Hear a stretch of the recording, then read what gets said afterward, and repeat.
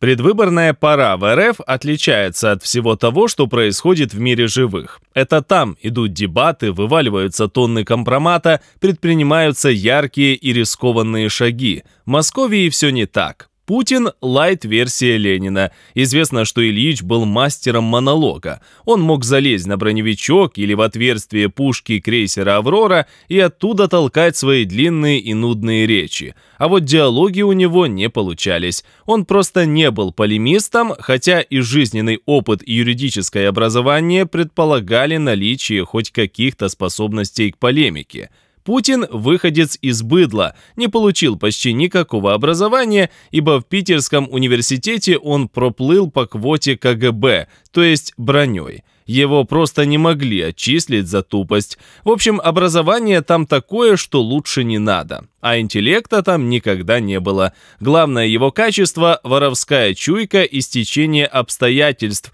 Выбросили такой трюк, при котором он оказался в первом кресле. Но за все свои 18 лет президентства он избегал и будет избегать впредь любой публичной полемики. Он знает, что выставить себя дураком, а потому воздерживается от дебатов даже с идиотом Жириновским.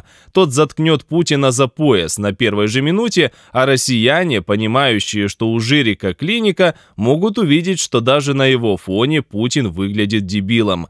В общем, никаких дебатов и прочих вольностей. Все должно проходить очень тихо, в крайнем случае Путин толкнет монолог. Если он его сам себе придумает или жестко отредактирует написанное, то публика будет полагать, что за этой тупятиной Путин скрыл главный смысл. Они будут разбивать мозги на части, пытаясь трактовать его речь, а там просто банальная серость в лучшем случае и никакого второго дна. Но в это время должно присутствовать то, что тупые диктаторы ценят больше всего – стабильность. Ясно, что предвыборные дебаты – грубое посягательство на оную, но и во всем остальном должна быть стабильность. Вот этот дедушка Вова объявил, что одержана победа над всеми в Сирии, но вот обстрелы базы Хмеймим как-то не совсем вяжутся с объявленной Викторией. Правда, тут же было объявлено, что группа боевиков, устроивших налет на базу, уничтожена спецназом.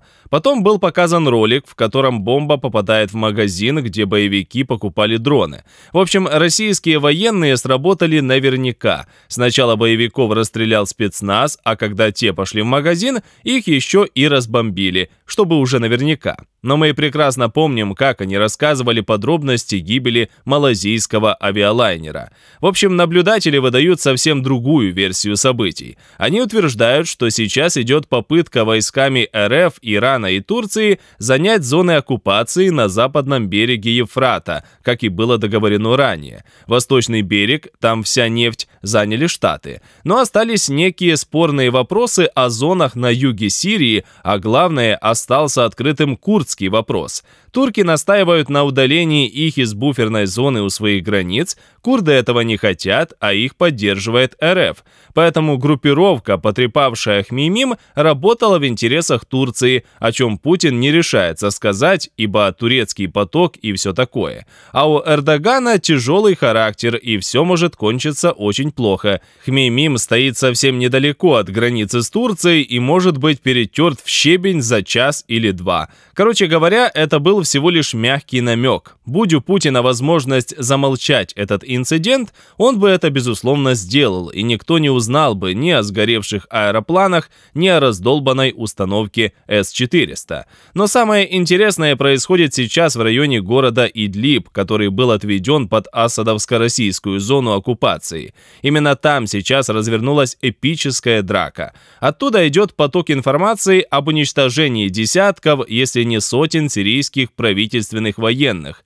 Все это снабжено видео и фотодоказательствами. Мало того, есть масса видео о том, что асадовцы десятками сдаются в плен. И вообще, противник там перешел в контрнаступление, а потому на фоне разваливающейся армии Асада в бой идут российские наемники и военные. Их тоже крошат с таким же успехом, как и асадовцев, что характерно, вся эта смесь асадовско-российской группировки, отступая, бросает свои танки и другую технику, ибо ее жгут американскими ПТРК ТОУ со всей пролетарской ненавистью. Желающие могут посмотреть на это лично в одной из лент антиасадовских сил, ссылка на которую находится в описании под видео. Наблюдатели отмечают, что ожесточение боев достигло накала боев за Алеппо с таким же, если не большим уровнем потерь асадовцев и уже россиян. В общем, дабы не портить предвыборную картинку стабильности, тушки ЧВК из РФ будут прикапывать на месте. Стабильность должна быть стабильной, и никакие трупы не должны портить картину.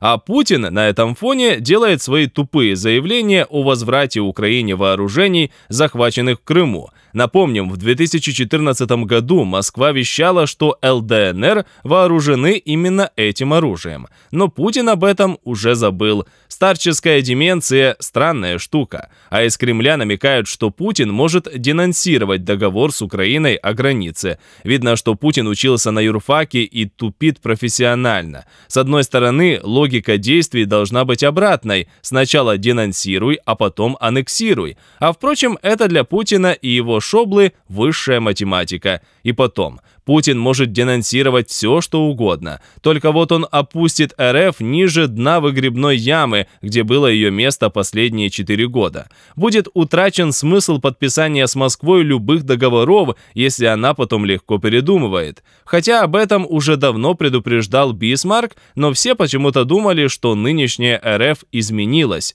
ничего не изменилось. А пока там решают, что делать со скапливающимися тушками своих бойцов. Однажды на Донбассе уже было принято решение вывозить только тушки кадровых военных или тех, кого нельзя по-тихому скинуть в ствол шахты или прикопать как биологические отходы. Видимо, до выборов эта практика укоренится в Сирии, а там, глядишь, и в Ливии начнут прикапывать.